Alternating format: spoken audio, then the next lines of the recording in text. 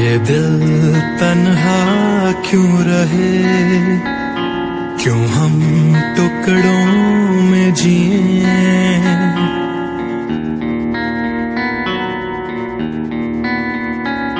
ये दिल तन्हा क्यों रहे?